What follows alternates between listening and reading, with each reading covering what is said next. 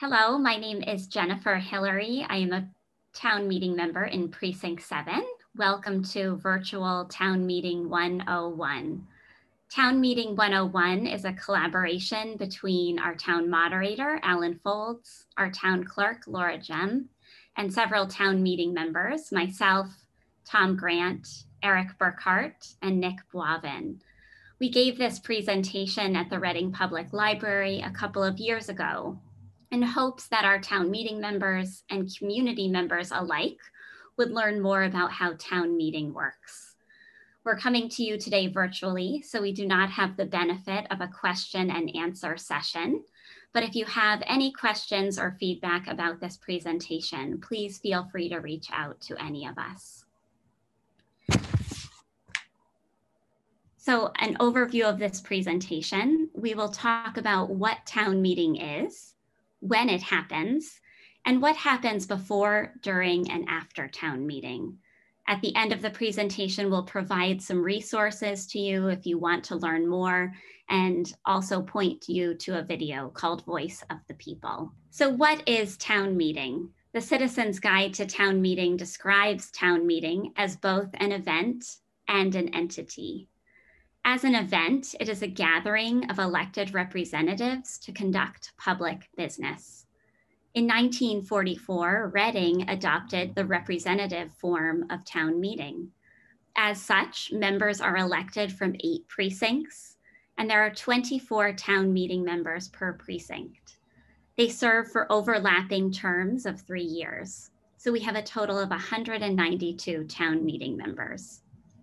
As an entity, town meeting is the legislative body of our town.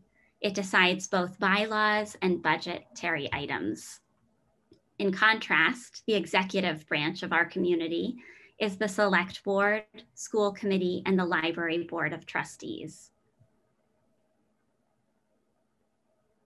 So when does town meeting occur? Each April, we have our annual town meeting. We meet Mondays and Thursdays until our business is complete. Typically, in the spring, precinct meetings occur before our annual town meeting. At those meetings, the chair and clerk of the precinct is elected. Any vacancies may be filled until the next election, and other precinct business is conducted as needed. Our subsequent town meeting happens in November, again on Mondays and Thursdays until the business is complete. And precinct meetings may occur at this time, again, to fill any vacancies in that precinct. We have special town meetings as they are needed, and those may be called by voters or the select board. All town meetings take place at the Reading Memorial High School Performing Arts Center, unless otherwise noted. And uh, at this time, we are meeting virtually. I'll turn it over to you, Laura. So when is town meeting in 2021? On um, the town meeting, the annual town meeting includes our town election. So uh, article one of the annual town meeting is our town election. The town election was on April 6th and the annual town meeting starts April 26th. We generally plan for a probable calendar of four nights, just in case. We don't always continue on the four nights. Um, in this particular case, we'll probably end up with three nights, but we'll see how it goes. Um, a subsequent town meeting is November 8th. So the calendar that you're seeing on the screen is on the town website. You can get to it from the town meeting page or from the elections page. Um, the town meeting link is right off of the town clerk's page. So if you go to department town clerks, and then you can go to town meeting and see this calendar as well. This is kept up for, I try to keep it five years ahead. So you can see the election dates and the town meeting dates up to five years ahead.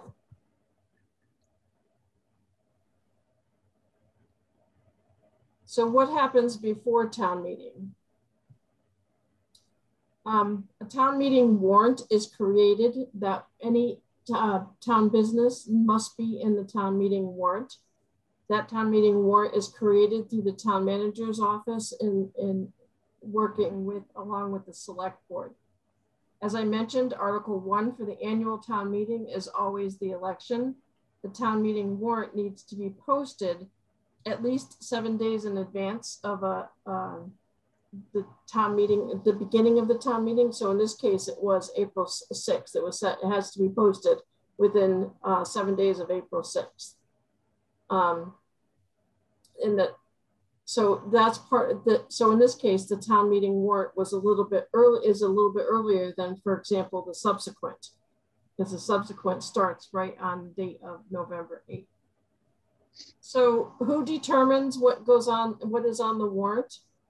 Um, the warrant can be, an article can be placed on the warrant by two or more of the select board members, uh, by any board or committee, and the warrant article will have on the um, war, within the warrant article who is the board that is supporting that article itself. Any 10 voters can also add an uh, article to the annual subsequent or special town meeting. Um, it's recommended that uh, the voters work with the town manager's office and with the select board uh, one, the select board may decide to, to go ahead and add that article versus having to add 10 voters. But the other reason is that you want to make sure that the article is um, has correct legal language and the town manager's office would work with our town counsel to make sure that everything is correct and, and meets mass law. And um, any other person or entity that is authorized by the town bylaw or otherwise is can add an article as well. The um, select board approves the, the town meeting warrant, um, but any any of the items listed as far as the, the any board or committee or 10 registered voters can add an article.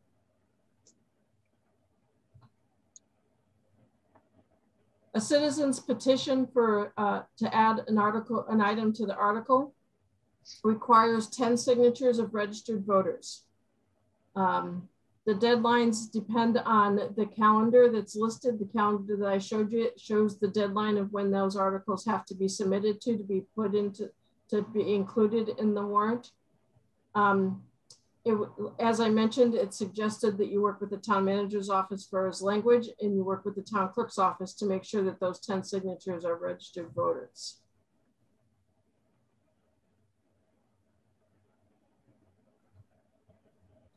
So the report on the warrant is a continuation of the warrant. The warrant contains the articles. The report on the warrant provides the history and the background of the articles on the warrant.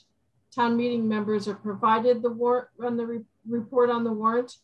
Um, that is the it's generally provided for the town meeting members to be able to pick them up. You receive a letter from the town clerk's office stating the date of the um, town meeting the probable calendar of the town meeting, and when and where the warrants are available for you to pick up. Uh, they're always posted online as well on the town meeting page right off of the town clerk. So the, the link here, just go to readingma.gov, the town clerk's office, and then town, pay, uh, town meeting, and all of the warrants and the re report on the warrant is posted there as well. And I'm going to hand it over to Tom. Thank you very much, Laura. I'm Tom Grant. I'm a town meeting member in Precinct 4. So one of the most important things that town meeting does is to approve the annual budget. And in fact, town meeting has authority over all appropriations. In Reading, our budget is approximately $100 million each year. So it's a very important part of what we do. And there is a budget process to follow in terms of reaching that approval that happens during town meeting. Outline of the slide are the different steps in that process. Um, probably the most important is the finance committee reviewing and voting to recommend the budget in March. Most of those meetings are recorded and available uh, on YouTube. So it's always important for town meeting members to have an understanding of what happened at those meetings before the actual town meeting itself. The other point I wanna make on this slide is free cash. Free cash is a very important part of our long-term budgeting process as a town. There's always an accumulation of revenues in excess of our costs. And that is always part of our policy with budgeting, usually about 7% of revenue. Laura, can we go to the next slide, please? So in this next section of our presentation, we're going to touch on what actually happens during the town meeting. And uh, our moderator, Alan Foulds, will take us through some specifics after I cover who's present and a little bit of how the meeting goes. Next slide, please. So in terms of who is present, this is part of the exciting part of town meeting. It's a gathering of the leaders of our town government, including Laura and also our town manager, our town counsel, and um, also the most important elected boards in town, including the select board and uh, the school committee also is welcome to attend in the audience. Town meeting members, of course, are there. We need a majority of them in order to have a quorum for the meeting to proceed and for the decisions and the votes to take place. And then, of course, the public is also welcome. Uh, they do have to sit in a different section of the auditorium, but they are allowed to attend and often speak after the town meeting members have had their chance to speak. Next slide, please. So the way we think about town meeting during the course of the year is that there's the annual town meeting in April, as Laura outlined, and then the subsequent town meeting in November. And usually what happens is that in the April meeting, we talk about the fiscal matters and approve the budget, as I mentioned before. There's a state of the town given by the chair of the select board and the financial report given by the chair of the finance committee. In the subsequent town meeting in November, that's typically when we address bylaws and also we get an update on the schools and RMLD. Now I'd like to hand it over to Alan to talk a little more specifically about what happens at the meeting itself. Thank you, Tom. My name is Alan Foulds, and I am the town moderator. I my job is to keep the meeting going, keep the uh, legislative procedures working. It's a one-year term. Although town meeting requires strict adherence to legal procedures and rules of order, the real really is no deep secret involved and no secret language, even though it sometimes seems there is. There are many things that can take place, but most every meeting is comprised of only a handful of procedures, and I'll go through each one of them. First, there's a call to order. That's when the time that posted has been reached and we have a quorum, which in Reading is 97 members. It's, it's uh, half the membership plus one, a majority. Then we usually go through some rituals, the Pledge of Allegiance, invocation, and traditionally, we swear in all our new town meeting members. Then we get to the warrant articles. Usually, town meeting considers the warrant articles in order. However, town meeting may change the order if they feel that it is necessary. The moderator introduces each article, or in some cases, may read it entirely before starting the debate. Then at the end, we have removal of non-participating members, and then we adjourn. But let's go through some of these a little bit more carefully. With the next slide. Getting down to business, motions. Now, I, I mentioned warrant articles. A warrant article is the broad um, boundaries of what's going to be discussed. A motion is made under that warrant article, telling town meeting exactly what we are discussing.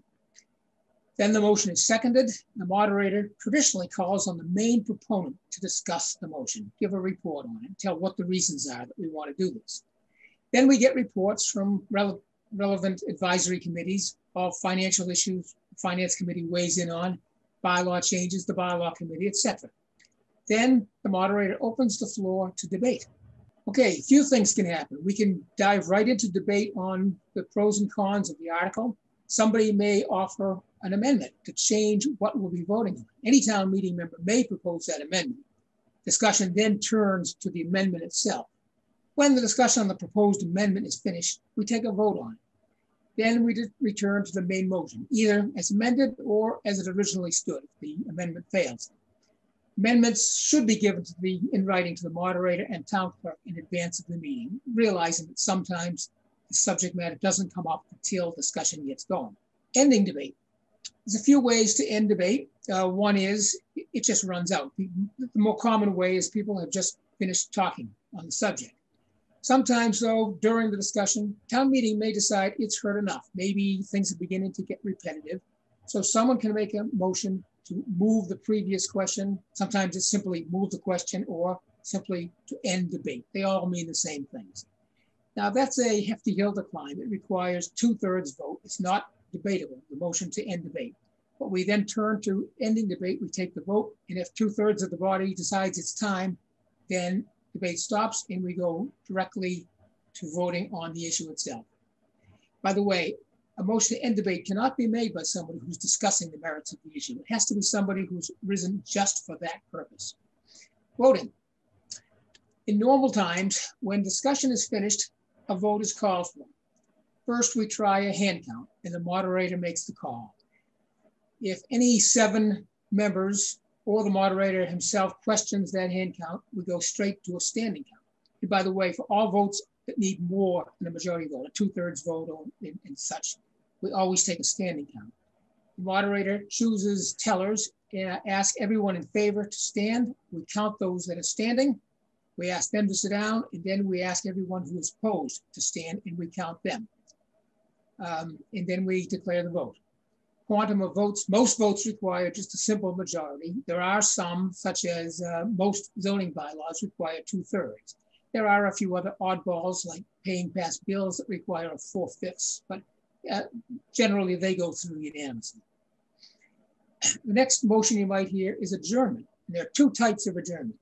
We might adjourn for the evening, meaning it's getting late. We haven't finished our business yet, but it's 11 o'clock and people want to go home. We will adjourn to the next night. As it was mentioned earlier, we meet on Mondays and Thursdays. So it's a Monday, we'll adjourn to Thursday. Thursday, we adjourn to next Monday. The other way to adjourn is to sine die, sometimes pronounced sine die, which means without day. That means the meeting is closed. We've reached the end of business. And we, when we make the motion to adjourn sine die, that is the end of the meeting. A few other points I should bring up. Point of order. Someone may have a question on uh, something that was presented, or there may be a question on what the moderator has ruled. Somebody can make a, a ask for a point of order and have that explained to them. Point of personal privilege is something similar, but it's usually not a question. It's usually a point someone wants to make. And it's very often uh, to honor somebody who's retired after many years or a, a, member who's been there for 40 years or some significant uh, anniversary. Questioning a count. As I said earlier, if seven people question a count or the moderator himself questions it, we go to a standing count. The issue of scope, I mentioned this earlier under the uh, difference between articles and motions. The motion must be within the scope of the article, and any proposed amendments must be within the scope of the article as well.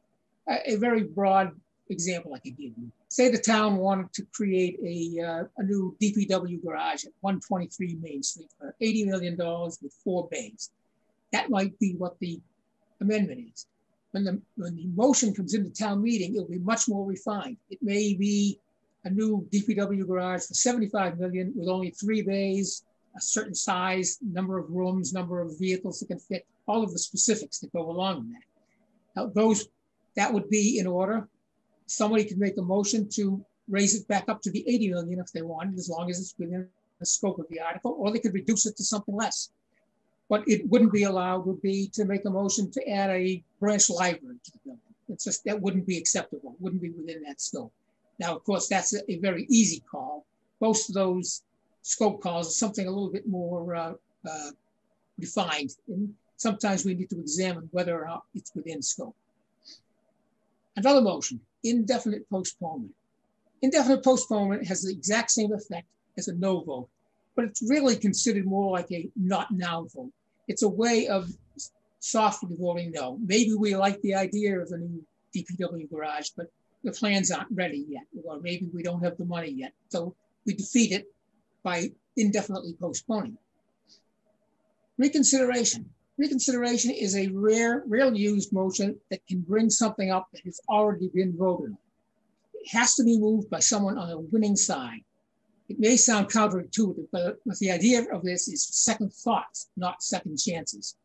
You can see general bylaws 2.2.4 for the specifics.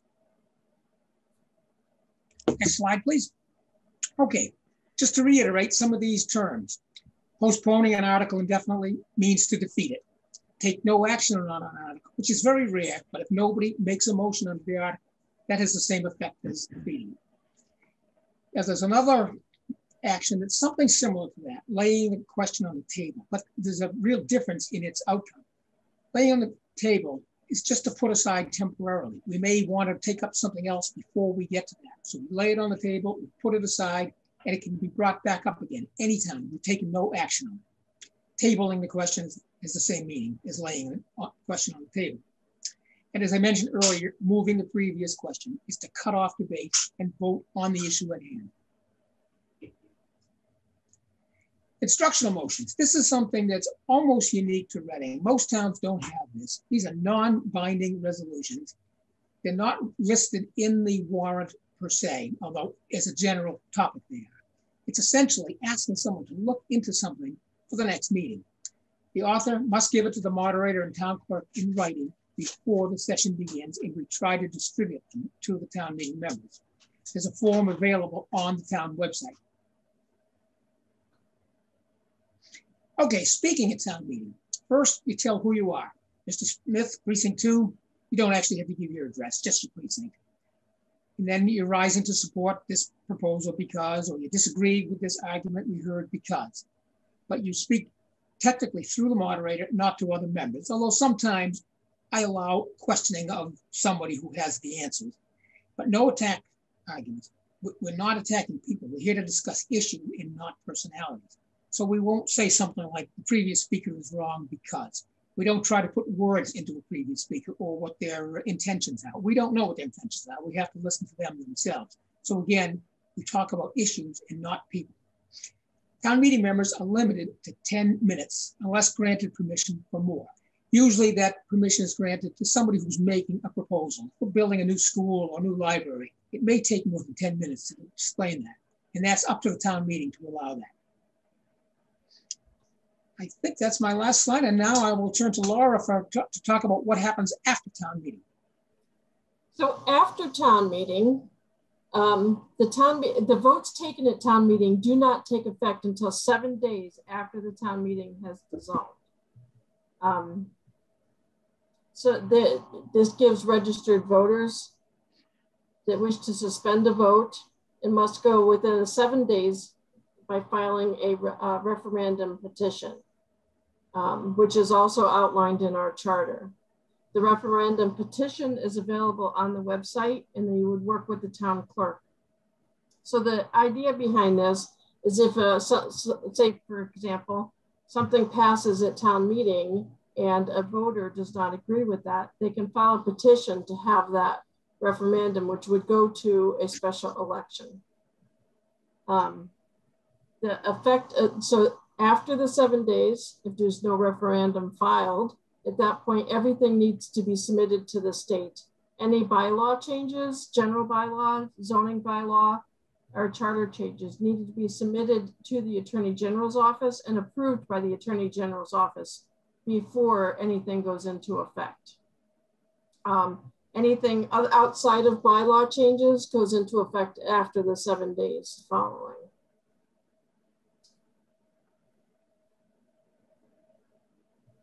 Thank you, Laura. Thank you, Alan. Thank you, Tom. Uh, we wanted to provide a list of town meeting resources to everyone if you're interested in learning more. Town meeting time is the handbook of parliamentary law that's available at the town clerk's office.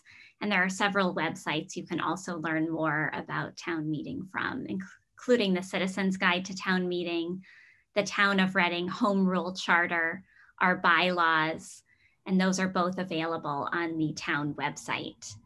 Uh, as Tom mentioned, RCTV is a great resource for our town's meetings, and you can watch past meetings from town meeting on their website and YouTube. You can also reference the Massachusetts general laws. Voice of the People is a wonderful video that our moderator, Alan Foulds, was involved in creating.